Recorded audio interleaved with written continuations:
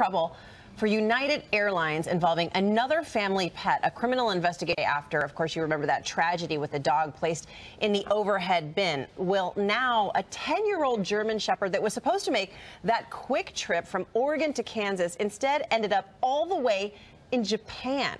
ABC's Linsey Davis is here with more on this and hopefully the explanation. What happened, Linsey? Yeah, crazy one here. Good morning to you, Cecilia. United has now issued two apologies in recent days for canine catastrophes, one that ended up dying. And now one U.S. senator is pressing for answers from the airline about the care of animals on its flights. This would be our worst nightmare. New woes for United Airlines this morning after it mistakenly put this Kansas bound dog named Irgo on a 12 hour flight to Japan. I know he's going through hell right now because he's obviously not used to this. Kara Swindle was with her family flying from Oregon to Kansas City, her 10 year old pup flying along in cargo.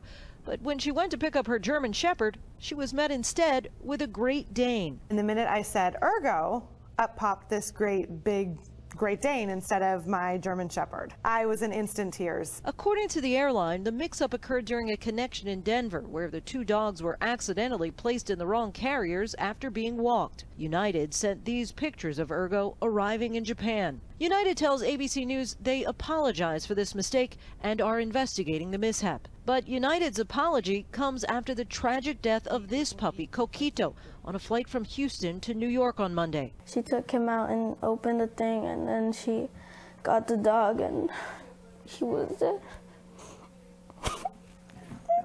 Coquito died after the family says a flight attendant demanded that they stow him inside the overhead compartment for the duration of the three hour flight. And we're like, it's a dog, it's a dog. And she's like, it doesn't matter, you still have to put it up there. United tells ABC News their flight attendant did not hear or understand there was a dog in the bag and did not knowingly place the dog in the overhead bin. According to the U.S. Department of Transportation, in 2017, there were 24 deaths reported of animals transported by air. Three quarters of those deaths occurred on United Airlines. Next month, United plans to start issuing bright colored bag tags to customers traveling with pets inside the cabin so that attendants know right away there's an animal inside that bag. Meanwhile, 13,000 miles later, Irgo is flying back with an attendant in first class, no less. And he's expected to be reunited with his family later on tonight. As for Coquito's family, United says they have refunded them for their plane tickets and the pet fee. It's unclear if there are plans for additional compensation. You have to uh, imagine. It's just crazy. I wonder if Irgo's like, they said it was going to be a quick flight. Yeah, yeah right. What is first class I'm just imagining with a, cup, a glass of champagne up in first class. well, that's the, that is the least they could do. Lots right, of thank biscuits. you so much, Lizzie.